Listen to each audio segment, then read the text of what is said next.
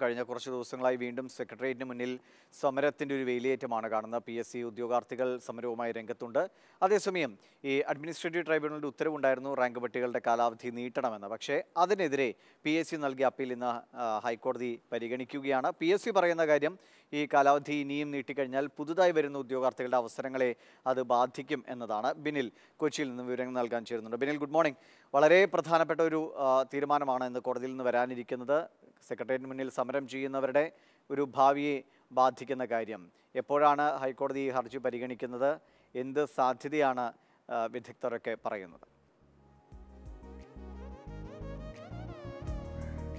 ഹൈക്കോടതി ഇന്ന് ഈ അപ്പീൽ ഹർജി ലിസ്റ്റ് ചെയ്തിട്ടില്ല. പക്ഷേ പി എസ് സി ഈ അപ്പീൽ ഇന്ന് തന്നെ കേൾക്കണമെന്ന ആവശ്യം കോടതി മുമ്പാകെ ഉന്നയിക്കുമെന്നാണ് നമുക്ക് മനസ്സിലാക്കാൻ കഴിഞ്ഞിരിക്കുന്നത്. കാരണം നാളെ ഈ ലിസ്റ്റിന്റെ കാലാവധി അവസാനിക്കുകയാണ്. അത് സെപ്റ്റംബർ ഇരുപത് വരെ നീട്ടണമെന്നാണ് ഇപ്പോൾ കേരള അഡ്മിനിസ്ട്രേറ്റീവ് ട്രൈബ്യൂണലിന്റെ തിരുവനന്തപുരം ബെഞ്ച് ഉത്തരവിട്ടിരിക്കുന്നത്. അത് നിയമപരമായി ശരിയല്ല എന്നതാണ് പി എസ് സിയുടെ ഏറ്റവും പ്രധാനപ്പെട്ട വാദം. കാരണം ഈ ലിസ്റ്റുകളെല്ലാം തന്നെ ഒരു തവണ നീട്ടിയിട്ടുള്ളതാണ്. വീണ്ടും ഈ ലിസ്റ്റുകളുടെ കാലാവധി നീട്ടുന്നത് പ്രായോഗികമല്ല നിയമപരവുമല്ല എന്നതാണ് പി എസ് സിയുടെ ഏറ്റവും പ്രധാനപ്പെട്ട വാദങ്ങളിലൊന്ന്. അതോടൊപ്പം തന്നെ ഇത് വരാനിരിക്കുന്ന ഉദ്യോഗാർത്ഥികളെ സംബന്ധിച്ചിടത്തോളം അവർക്കും തൊഴിൽ നഷ്ടമുണ്ടാക്കുന്ന കാര്യമാണ്. അതുകൊണ്ട് തന്നെ അനന്തമായി റാങ്ക് ലിസ്റ്റുകളുടെ കാലാവധികൾ നീട്ടുക എന്നത് ഒരു തരത്തിലും അംഗീകരിക്കാൻ കഴിയില്ല. അത് പ്രായോഗികവുമല്ല.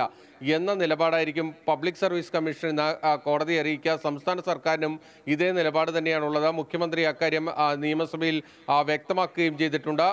കേരള അഡ്മിനിസ്ട്രേറ്റീവ് ട്രൈബ്യൂണലിന്റെ ഉത്തരവ് ഹൈക്കോടതി സ്റ്റേ ചെയ്യുന്ന സാഹചര്യം ഉണ്ടായാൽ നാളെയോടുകൂടി തന്നെ ഈ റാങ്ക് ലിസ്റ്റുകളുടെ എല്ലാം തന്നെ കാലാവധി അവസാനിക്കുന്ന ഒരു സാഹചര്യം ഉണ്ടാകും. കോടതി ഇക്കാര്യത്തിൽ എന്ത് നടപടി എടുക്കുമെന്നത് ഏറ്റവും കൗതുകത്തോടെ ഉദ്യോഗാർത്ഥികളടക്കം വീക്ഷിക്കുന്ന സംഭവമാണ്. കാരണം ഏത് തരത്തിലുള്ള നിയമപരമായൊരു നടപടി ഇക്കാര്യത്തിൽ ഉണ്ടാകും കാരണം നിരവധി പേരുടെ ജോലി സംബന്ധിച്ച അവസാനത്തെ ആശ്രയമാണ് ഈ റാങ്ക് ലിസ്റ്റുകൾ അതുകൊണ്ട് തന്നെ ഏത് തരത്തിലുള്ള നടപടിയായിരിക്കും കോടതിയിൽ നിന്നുണ്ടാകുന്നത് എന്നത് കേരളം ഉറ്റുനോക്കുന്ന ഒരു സംഭവമായിരിക്കും. എന്തായാലും ഇതിനകത്ത് ഏറ്റവും പ്രധാനപ്പെട്ട കാര്യം ഈ റാങ്ക് ലിസ്റ്റുകളുടെ കാലാവധി ഇത്തരത്തിൽ അനന്തമായി നീട്ടിക്കൊണ്ടുപോകുക ഒന്നിലധികം തവണ നീട്ടുക എന്നത് നിയമപരമായി ശരിയാണോ എന്ന ഒരു പരിശോധനയിലേക്ക് ഹൈക്കോടതി കടക്കുമോ എന്നത് ഇന്നറിയാൻ കഴിയും. അതോടൊപ്പം തന്നെ പി എസ് സി റാങ്ക് ലിസ്റ്റുകളുമായി ബന്ധപ്പെട്ട നിരവധി ഇത്തരത്തിലുള്ള ഈ ഈ കാലാവധി അവസാനിക്കുന്ന ഘട്ടത്തിൽ ഇത്തരത്തിലുള്ള സമരപരിപാടികൾ അടക്കം വരുന്ന സാഹചര്യമുണ്ട്. അത്തരത്തിൽ ഈ റാങ്ക് ലിസ്റ്റുകളുടെ കാര്യത്തിൽ ഒരു പരിഷ്കരണത്തിലേക്ക്